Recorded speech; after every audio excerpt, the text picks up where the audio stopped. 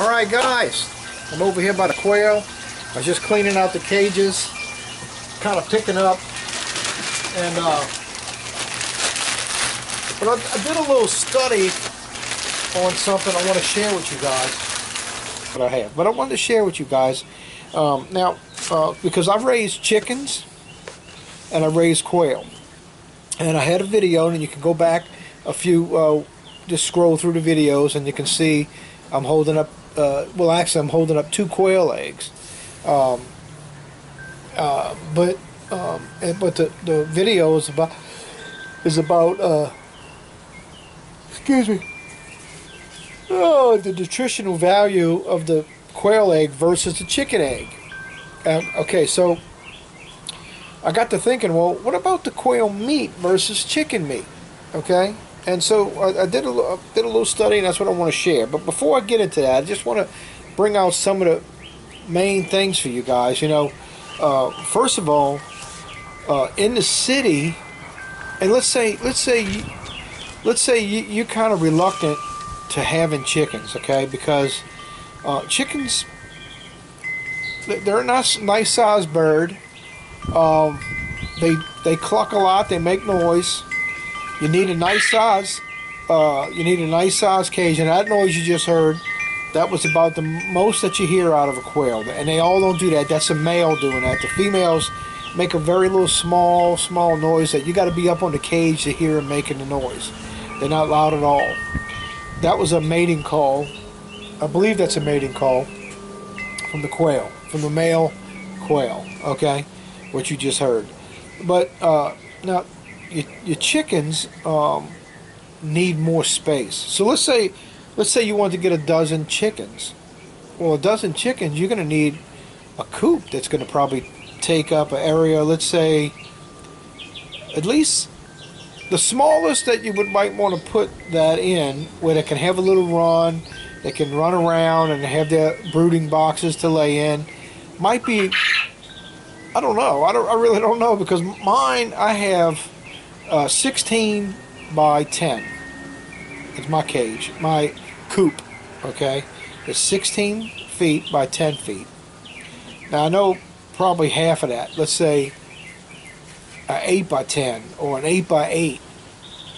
It's still, it's still nice size. Uh, coop. You know, if you want to raise chickens, it's it's a, a big coop that you got to get. The birds are bigger.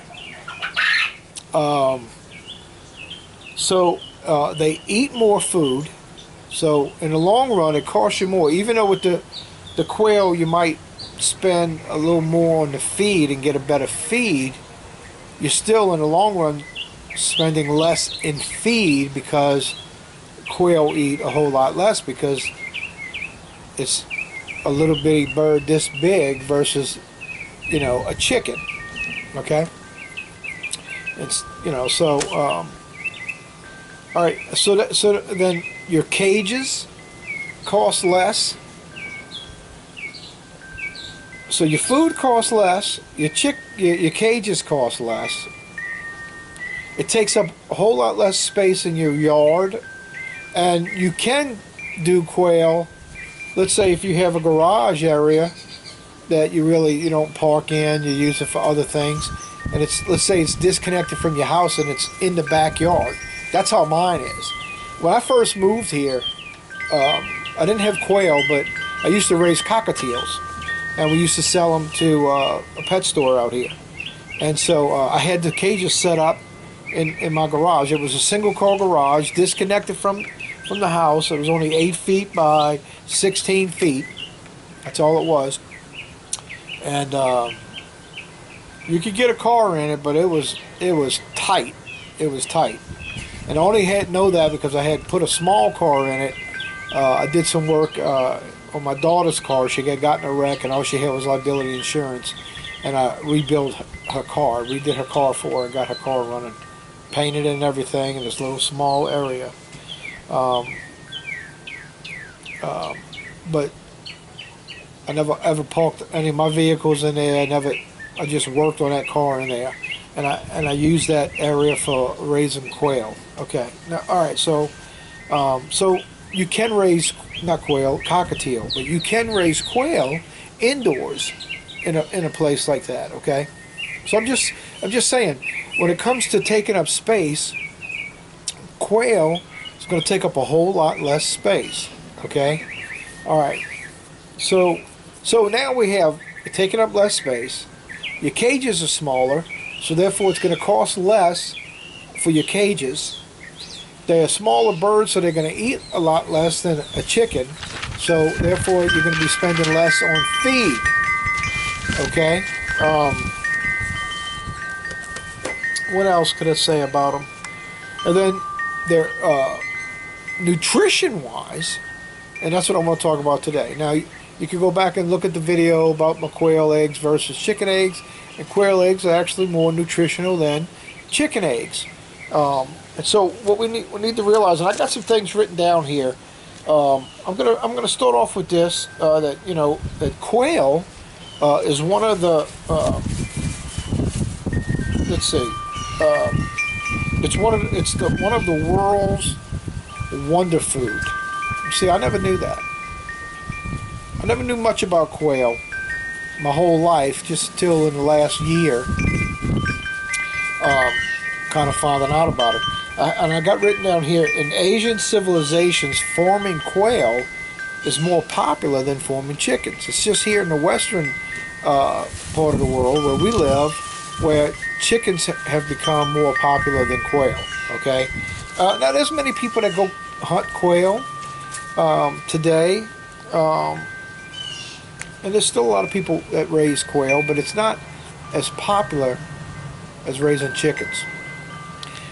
So like when you, you go on YouTube and you, you see these homesteaders with the land, I mean, they're getting chickens. And, and the chickens, you well, if you got acreage, you want chickens because they, they're going to scratch up the ground, they're going to eat bugs, all that kind of stuff, and they're good. They have their purpose. So I'm, uh, I want to talk about the nutritional value, but at the same time, uh, I guess I'm, I'm speaking more to the backyard homesteader. Okay, somebody who you're living in a city, you have limited space, uh, you want to do homesteading, um, but really you, you, you're kind of in a stuck position. You don't really have the finances to move you don't want to sell your house because maybe you got two mortgages on it maybe you're upside down maybe you did your last mortgage you did you still you don't have enough money in your mortgage to sell and go get something else because that's where uh, I, have been there and I am there um, and there's uh, a lot of things that that are stopping me financially right now where I can't just sell my house and move and go go get me something else okay? Now things are changing for for us and uh, it, things are coming uh, our way. Some finances are coming our way. And um, uh, but for those of you who are uh, stuck and, and maybe maybe you don't want to move to the country and don't want to get a bunch of land but you, you want to do something with your city backyard. You can. Okay, I encourage you to start doing stuff, stuff now. Start growing gardens and all. The animal that you could raise instead of chickens would be quail. They're going to take up how much lot less more space for you. And and even when it comes to butchering a quail versus chickens, I've done I've done both. I could I could I could butcher a meal for us out, out the quail. Let's say I got three of us in my family: me, my my wife, myself, and my my youngest daughter, Kara. And if I if I uh, uh, process uh, two quail each, six quails, I could process six quails probably faster or about the same amount of time. I think it's faster actually than than processing a chicken. I think I could process six quail faster than I can get the feathers off of a chicken. I, I, I'm pretty sure I can. It goes real fast. It's real quick. I also have video on that on processing quail. you can go looking through my videos and maybe look at that. Uh, it's real, real quick, real easy, real simple. Okay, so let me let me let me let me kind of give you some of the uh, some stuff I wrote down here about quail meat. Quail meat, uh, well, when it comes to protein and fat, it's very similar to chicken meat. Okay, but quail meat has four times more vitamin C. Now, vitamin C is for our immune system. It's got four times the amount of vitamin C than a chicken meat. Ain't that something? A quail meat has over three times more iron than chicken meat, and incredibly, four times more iron than beef, like a beef sirloin. I'm still going to continue to eat beef, and I'm still going to continue to eat chicken. Okay? All right. Quail meat has vitamin A, whereas chicken meat has none. All right, so so far, so far with the chicken meat and the quail meat, uh, we have something that we could process a lot quicker. Uh, it, it, very similar in the protein and the fat, but it has more vitamin C, and it has more three times more iron uh, than chicken, and four times more iron than beef. Okay, and it has vitamin A, whereas chicken meat doesn't have any. Okay. Also, quail meat is higher in minerals and amino acids than chicken meat. Okay? All right. So so what does that mean? What does that really mean? Okay, this is what it means. Listen to this. Now, for them to to get what I just read um, and there's believe me, there's more. There's more nutritional value than this. I just kind of picked out the main, some of the main stuff, uh, um, because there's a lot of information. You can go go research this yourself to get a complete uh, food rating. And this is what nutritionists do. They, they gather all the data they can get about all the all, all the uh, they collect about all the all the uh, vitamins, the minerals, the amino acids, the fats and other nutritional facts. They gather all the facts, put it in the data, and, and they they spit this out. They spit this information out. Okay, so so so quail is actually considered a complete food. Okay, which means this. It means that it's it's much better than most meats, including beef. This is quail meat, and it's it's a higher. Uh, and this higher rating means this is what it means for us, you guys. Listen, that our bodies will require less of it to feel full and needs less of quail meat for our daily nutritional requirements. So, if we eat less calories to receive the same nutritional outcome, okay, this means less calories and feeling full faster converts pounds loss on a scale. So they saying that you can actually experience weight loss on a quail diet. Ain't that amazing? Okay. And uh, and then I'm gonna read some one other thing I got here. Um, quail. I'm gonna tell you now. This is incredible because it is a fast-growing bird. You know, in six weeks, they're laying eggs. In six weeks, they're considered an adult, and you can begin to breed them.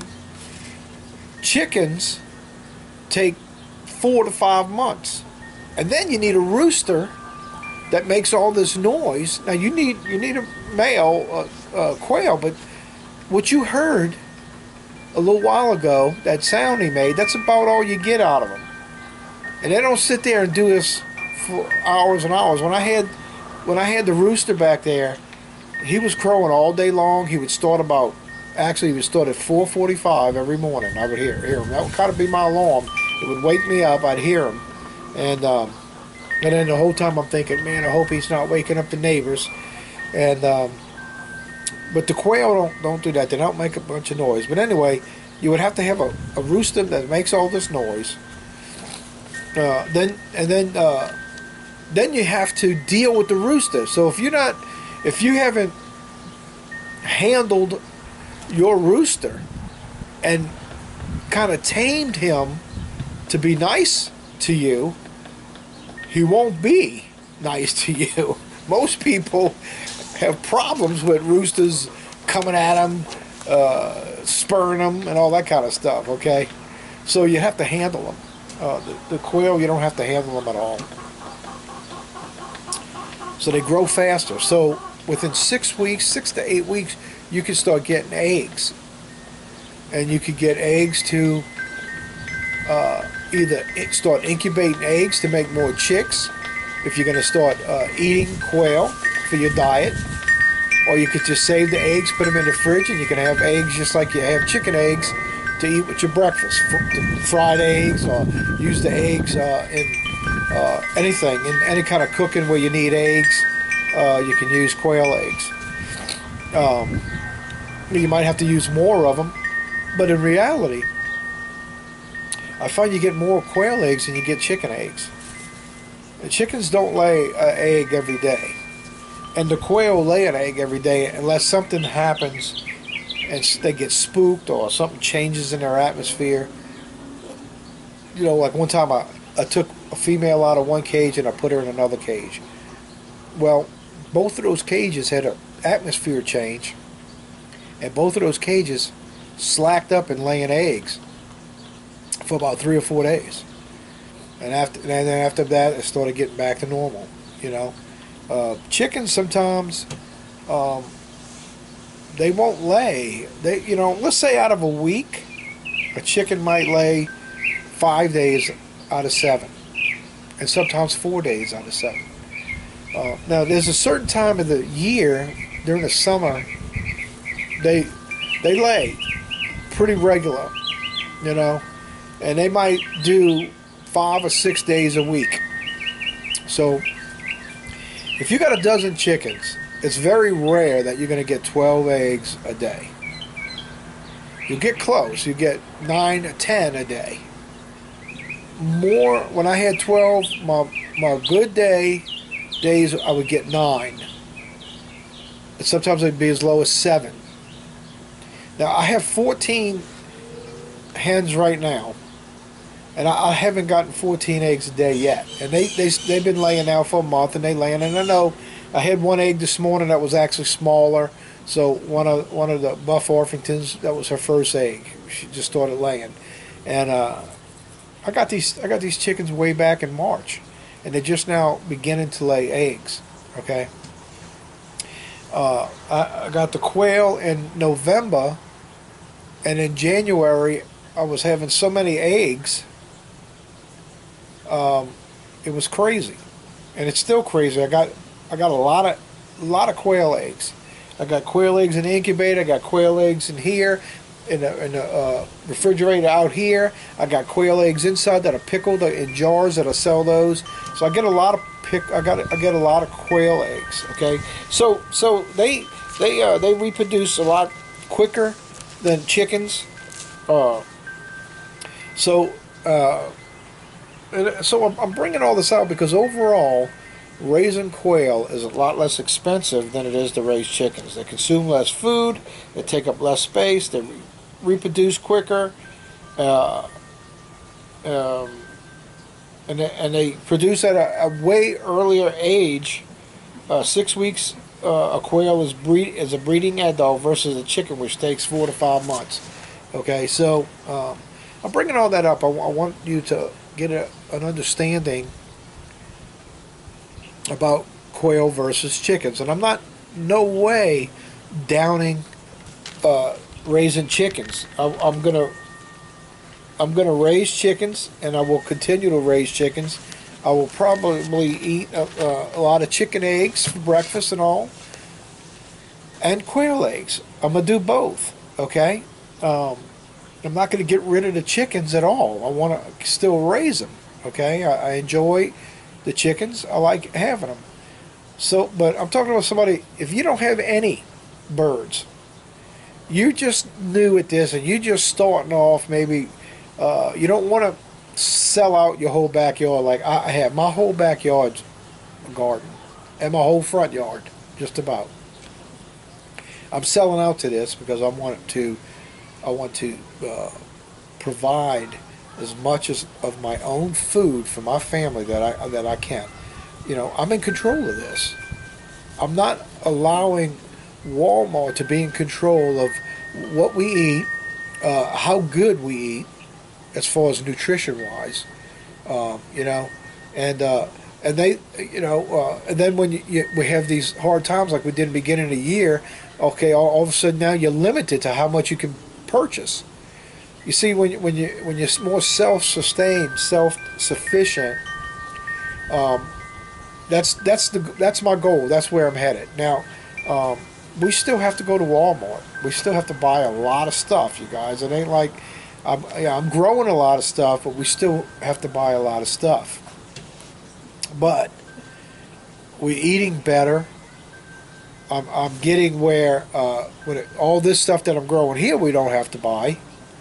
You know, other things you have to buy. Uh, your grains like rice, things like that uh, any kind of flour. But we're, we're, we're getting away from a lot of that stuff anyway. You know, all that the carbs and all that. We're, we're getting away from all that, and um, and eating more uh, fish, chicken, quail, and salads, and we're happy with that. Uh, occasionally, we we buy some grass-fed uh, beef, and we eat some grass-fed beef we're not against eating beef. I'm not against eating chickens or quails. Uh, I'm just kind of giving you some information here. This could help some somebody who uh, you want to get started with some of this. You really would like to get chickens, but man, you're kind of like hesitant about it. Maybe quail is the way to go.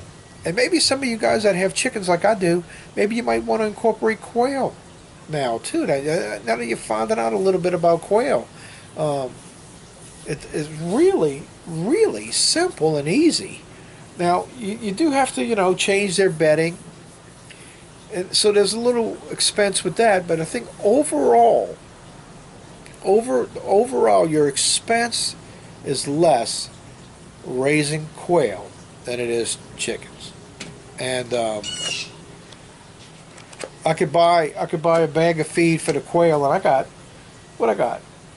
I, I don't I don't know how many quail I have right now. Six, uh, six times four is twenty four, and I got a, I got about thirty quail right now, and it, it it costs a whole lot less more to feed them. A bag of feed lasts more than a month, where for the chickens, I'm buying two to three bags a month with the chickens. I have, I've got 14 egg layers, and right now I have five meat chickens left, and uh, and that's what it's costing me about three bags of feed a month to take the feed out. So. Um, so overall, it's less expensive to raise quail. So I want to give you that information, you guys, because uh, you know, we here in the Western world, um, you know, we we kind of get sheltered in some of our knowledge uh, on how other cultures survive, the kind of foods they eat, and believe me, most most people eat quail. And you know another thing, this I'm not going to get into this though, but you know, goat meat is the number one biggest selling meat in the whole world. Now, you would never know that unless you researched it because living in America, you, you, you'd hardly very, very uh, rarely hear about that, especially if you uh, are born and raised here. Now, the people that come from other countries here, they already know that because where they lived, they were eating goat. So, um, all right, so it's it's good for us to learn about other cultures and what they're eating. Uh, you know why why uh, in other cultures people are less sick. Uh, yeah, you might have uh, other things going on like famine wise. Yeah, because people have a lack of money and they're not dying because of nutrition. They're dying because they don't have the money to eat. Um, but uh, nutrition nutritional wise, they have uh, quail, goats. They have uh, good nutritional food there, Uh, they might be lacking on things to grow in the ground, but you and I in America we're blessed. You you have access to growing food and raising animals and providing for your family in, in such a way. So, hey guys, just wanted to kind of give you that information on quail meat versus chicken meat, and uh, you guys be blessed. I'll see you guys on the next video. Have a good